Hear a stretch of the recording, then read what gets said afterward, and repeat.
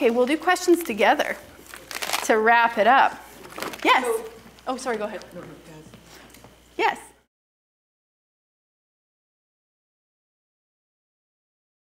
Good question. So the question was when would I start with the chair sittings first? So when I've done it in practice before is when uh, the child really, really is trip trained. So they absolutely will hold it until an adult takes them. They're a really good candidate for chair sittings a lot of the time. Um, but I, I, have to know they're not having accidents all the time. They're really waiting. They're, they've got good bladder control, basically.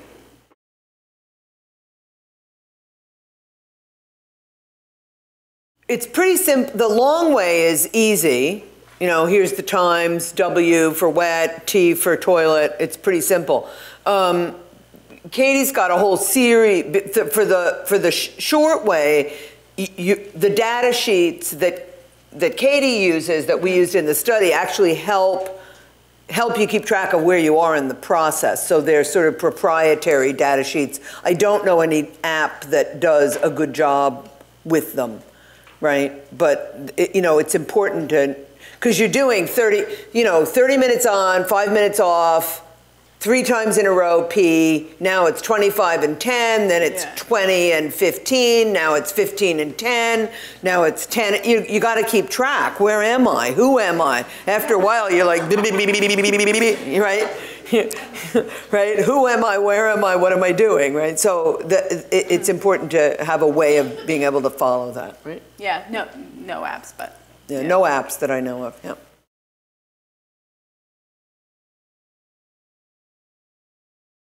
oh yeah, no, they're eating on the I toilet. they're that one, yeah. So were you in the yeah. bathroom. You're eating in the bathroom. They're eating on the toilet. Breakfast, lunch, dinner, whatever. Right. Like like Katie said, the 30 the 30 and 5 period, if they're drinking enough, isn't going to last that long. Yeah. Mind you, then it's 25 and 10, which is almost as bad, but yeah. I mean, it's not quite as bad. Yeah.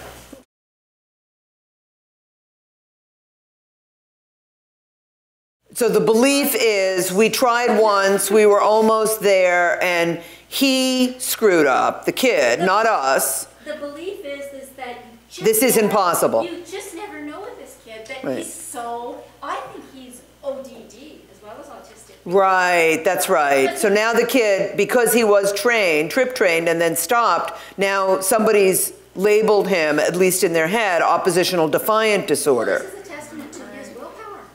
Well, well, you know, either there needs to be a different team in place who doesn't have that belief system, or someone with real authority. Not me, that's for sure. Well, well, not not me too, because I'm that's not like for hire to do this, or, right? Yeah, that's right. But I mean, but someone with real authority has to come in and say, "You're wrong. I'm in charge now. Do what I, you know," and build a relationship with the team. Mm -hmm. Right, and dissuade them from their negative belief system around this kid, yeah right? And I really, I think we've both seen it's very easy mm-hmm. when when you when you've done, and this is not just about toilet training. When you've done everything you know how to do to teach a kid yeah. something, and it hasn't worked, right? Like literally everything I know how to do, and it hasn't worked. I have two choices. I can say, well, the the kid isn't able to learn this or I can say, I'm not a very good teacher. Mm -hmm. Which, well, I, I'm, I've done everything I know how to do. Yeah, I don't know what to do. So I'm, mm -hmm. I must not be a very good teacher, mm -hmm. right? And what most people will do is they'll say the kid, the kid can't learn it, right? And that's not true. The kid doesn't want to learn it. The kid's resistant to learning. And what it really is is, I don't have enough instructional technique to be able to figure out how to teach this kid successfully. And I, I, I mean, you know, right? This is what happens. This is what happens. Right? This is why kids don't learn how to read. We tried to teach him how to read. He didn't learn how to read. I guess he can't learn to read. No, I guess you can't teach him to read. Right? But I tried to toilet train him. He's not toilet trained. I guess he can't be toilet trained. No, you don't know how to toilet train him. You know, I mean, hello, sorry, I'm always on the kid's side around this. Right? I'll take the rap. I'm the grown up. I'll take the rap for not being good enough as a teacher, but you're not going to blame the kid because that's not fair, right? Good instruction is good instruction, right? And the, yeah, you were uh, just the, the point about toilet training ever being problem behavior. So Mm. I, I, I hear that from people, like he's doing it on purpose. And I, I will, I'll buy that a tiny percentage of the time that's what's going on. The child's really doing it on purpose, but I've, I've never had a referral where that turned out to be the case, ever. Like, never. So, I mean, the fact that the kid would be doing it on purpose, really, like we've been saying all day, it's an instructional problem. And they can unlearn it when the reinforcement goes away. But No, what hap- so what that's- happens also is that the kid got the wrong idea because the reinforcement went away, so I guess you don't want. Yeah, no, Yeah, I mean, so it's kids, their kids, it's very, way. you know, Yeah. especially kids with autism spectrum disorder. You know, Mm-hmm. these kids get a really bad rap. People think, oh, they're so, they're, they're, they're, they're well, you know, it's, it, they don't learn very well. They're, di- they're, they're that, actually, that's not true. Mm-hmm. Actually, they learn very well. They learn exactly what we teach them. They learn exactly what we teach them.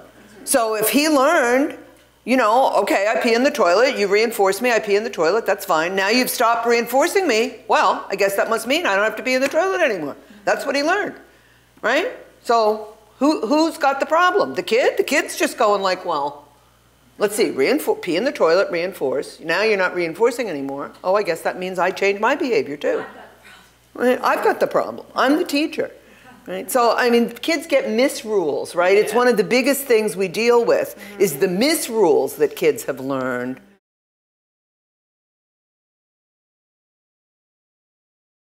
Okay, so why did that happen? Well, 'cause he would, you know, Because he thinks, he thinks he's supposed to go in a diaper. very good. So would you then, even if he was angry, put him back on? I would. Yeah. Yeah, yeah. You need to get some pee in the toilet. Like even if you hold him over it, like pee needs to go in there. Right. That that's the first step, no matter what. When I think you asked a question earlier, and I, I really meant to talk about it, so sorry to hijack. Um, you were asking, was it you who asked about a two-year-old and instructional control? Because instructional control is one of my favorite topics, and I, yeah, I've had a lot of the time. So my main work that I well, my main work is toilet training. My secondary work is early intervention, so I work a lot with kids in kind of full blown early ABA intervention programs. And oftentimes, a family will hire me that has a three year old or even a two year old, which is great, um, and say, Yo, toilet training expert, great, let's do it today. And I often say, let's wait six months because if a little bit of so instructional control is kind of an ABA lingo term, but it's essentially that the kid has learned if I do what you say, good things will happen. So if they've got that connection made, the toilet training goes faster and easier. So if the if you have instructional control with the two-year-old, great. Or if you're if you're starting a program or there's other skills you're working on with a child, sometimes it's good to solidify that and then go into toilet training. Um, but anyone can be toilet trained is, is still the punchline. So you don't have to wait for those. Well, and the other, the other thing that waiting Yeah. does is it allows it allows the kid to experience many many opportunities where he where he's reinforced Yeah. for uh, for for appropriate behavior Yeah. and also to establish a relationship with the therapist Yeah. right i mean right it's it's uh, uh, some of this comes out of the relationship right so waiting is not necessarily a bad thing in. Yeah. that regard There's a trust or like a oh okay well, like an yeah. expectation oh i know you you're the one who delivers Yeah, you Right? got you got the chocolate. Yeah, Right. exactly. Right? You're the one who delivers. Yeah. Right? I'm, I can't wait for you to show up. You deliver. Yeah.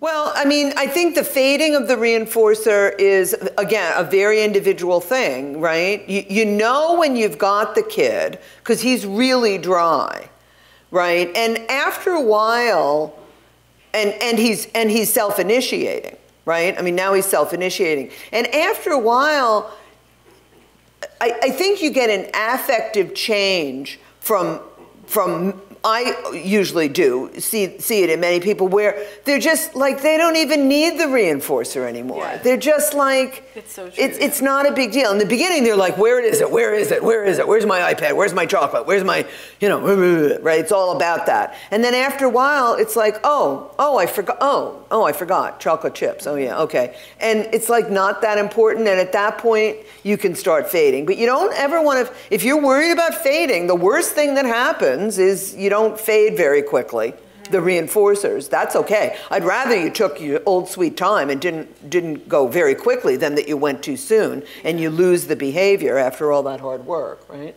That, yeah, they, they, kids very often forget to start asking, Yeah, to, to ask yeah, for it yeah, afterwards. And also, when we talk about prerequisites and things, like we say, oh, patooey, those prerequisites like being uncomfortable in a diaper and not liking being wet.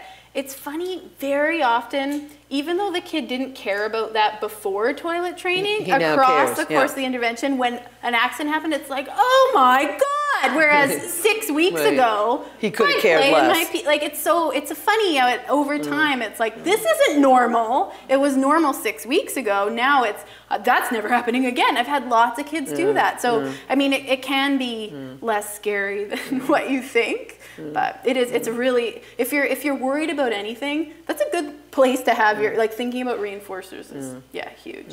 I, I I mean, uh, uh, uh, uh, that reminds me to come back to the question that you asked before about the kid who says, "Oh, I had an accident," and kind of wants to engage you in dialogue about that. You know, uh, as Katie said, that's not. I mean, that's not a good time to have dialogue. Have dialogue when he pees on the toilet. How proud you are of him. Look, you can pee just like Daddy can. You know, wow, this is so great. Blah blah blah. This is what big boys do. Read them stories about you know people who pee in the toilet. But around the accident thing it, it really is important to stay neutral because if that's how he knows he can engage you in a learning interaction, then you're going to get more accidents to get that engagement rather than more peeing in the toilet. So engage uh, all you want around the toileting and be a great teacher for him as when he pees in the toilet, right? Like that's when you want to engage.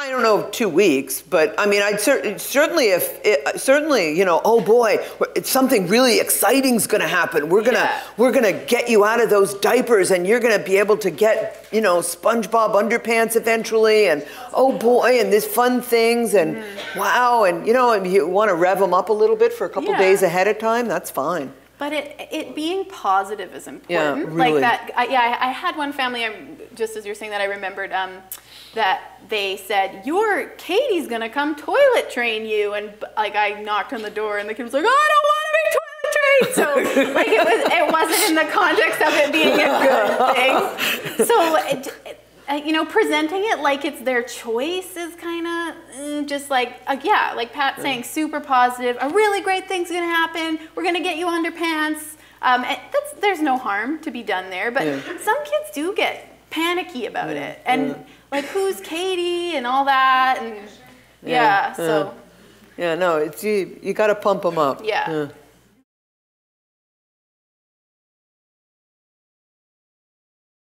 good question. Chair sitting thing. Yeah, it sounds like it. Well, yeah, it's hard. It's hard to know without seeing him, of course. Disclaimer, but I mean, potentially it's an initiation issue where something like the chair sitting would be good.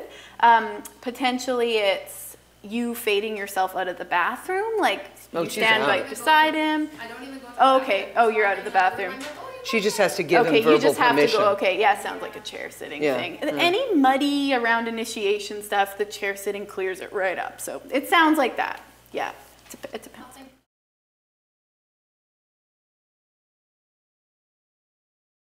The short version? Yeah.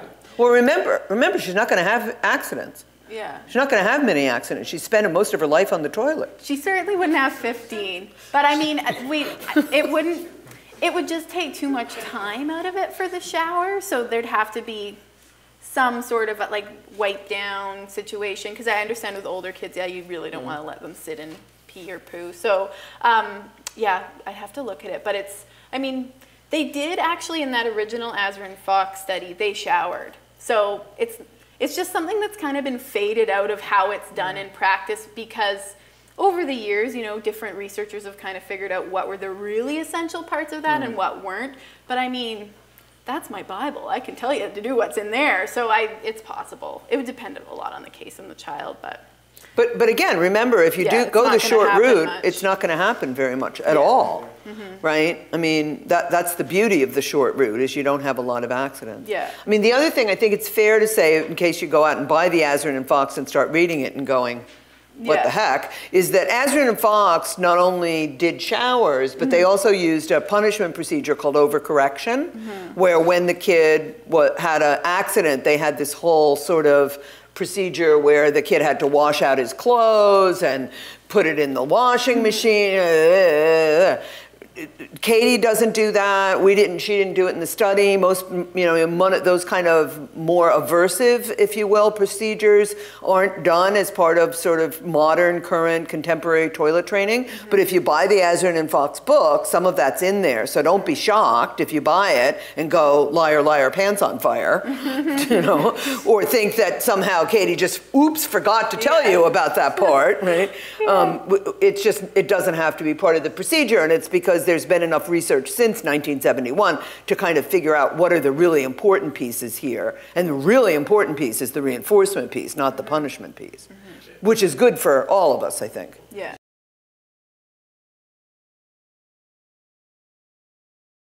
That's what I wanted to say.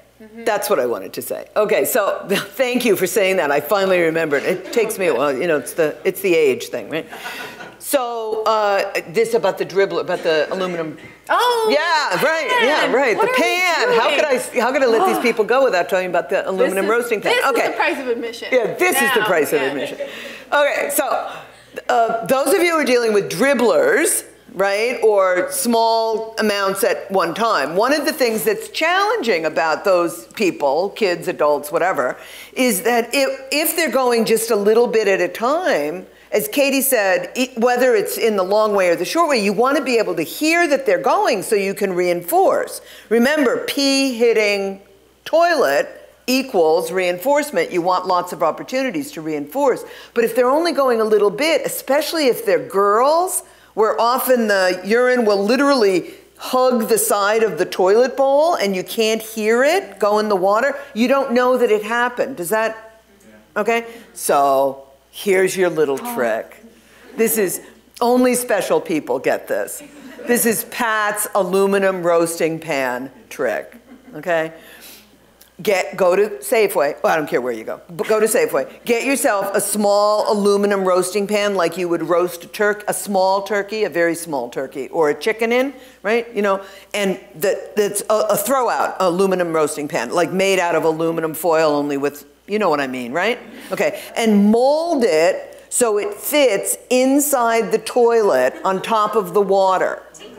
Okay, now, and, and as close to the sides as possible, right? So it's just sitting on top of the water, kind of, you know, right? Bouncy, bouncy, bouncy. Now, when the urine hits, it really makes a loud noise, okay? Which lets you know that it, the urine hit. And often for the person, especially people with, you know, who have some auditory sensitivity, right? Whatever, not in a bad way, in a good way, it, they'll also hear the pee hitting the aluminum roasting pan. And now when you get excited, you're, you know, you're like, and they're hearing tinkle, tinkle, tinkle, tinkle, tinkle, tinkle, tinkle, right? It helps them make the connection between what am I doing that's making her so happy and why did I get the reinforcer? Does that make sense? Right? This is, I always like say, keep this one in your back pocket because you may not need it. And if you don't need it, it'll save you a few bucks. And then, of course, after each pee, you empty out the aluminum roasting pan, wash it out, put it back in the toilet, right? But it's a good way to kind of make peeing m- more auditory, more more apparent. And it's especially good for folks who dribble. Have you used it? Yeah. Yeah? Oh, Yeah. please. Oh, then you used it with one of the kids in the study. Yeah, yeah. That's right. One of the kids in the study had this, and the mom called Katie and said, I can't tell when he's peeing. She said, Have I got a deal Get for the you get the pan." was get the aluminum roasting pan. It worked, right? It Yeah, like a it's charm. a good one. It's really, and it's like, yeah, those kids who don't seem like they. Are making the Yeah, they don't look like they know when they're going. Because lots of kids, just the feeling when they first pee on the toilet, they look down. Other kids, like, they can be peeing and just like, doo doo doo on the iPad, and you're going, then the pan's good because it is really so loud. Yeah, it's really Even loud. a dribble is so loud that they kind of, what? Twat, twat, twat, twat, twat, twat, twat, twat. It's rain on a tin roof, yeah. It's like, oh yeah, it's on a tin roof, Yeah. exactly. the other thing, I mean, again, you know, if you're, if you're, there, there's other tricks as well. Um, one of my, one of the other ones for boys who are standing, again, I, my, both of our preference is sit to sit because Yeah. you get the poop then often. But you know, there's there's ways to make it more fun to stand as well. Um, float Cheerios on the water, and he has to pee the Cheerios like little targets, right? Or get happy faces and float them on the water, and now he has to sink the happy faces. You know, right? I mean, it's weird. I know. It's weird. weird means we're almost done and it's time to go because now we're getting into weird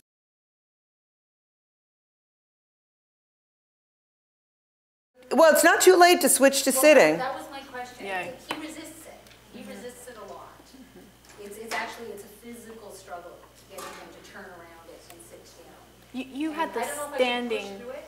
Standing pooing. Yeah, he has a son, right? standing pooing kid. Yeah, yeah. It'd be worth, it'd be. Woohoo! Get Yeah. a shirt. Yeah. It'd be worth to talk to your behavior consultant and say, look, maybe we need to have some pre-stuff where he learns to sit on the toilet Yeah. for longer and longer intervals. Start with one minute, two minutes, five minutes, 10 minutes, until he's comfortable just sitting there. He doesn't have to do anything, right? And then you've solved the pooping problem, and now you can start all over again with the peeing, and now you've gone peeing and pooping at the same time, sitting. So continue, let, let him pee standing. No, I, I'm saying I would, I, I would think seriously about stopping, get him sitting, start all over again. Mm-hmm. Unless you're so far down the road that, you know, I think in the end it'll be worth pushing through. Yeah, talk, I mean, you, you're working with a behavior consultant. She can help you with that. Right. Again, some of this is very technical stuff. I know Katie and I both kind of appreciate, you know, all we can do is say general things. If you're, um, if you're not sure, find somebody, find a behavior consultant, find somebody in the community who can support you so you put together a really good program so you can be successful. We want you guys to be successful as much as we want the people who you're training to be successful.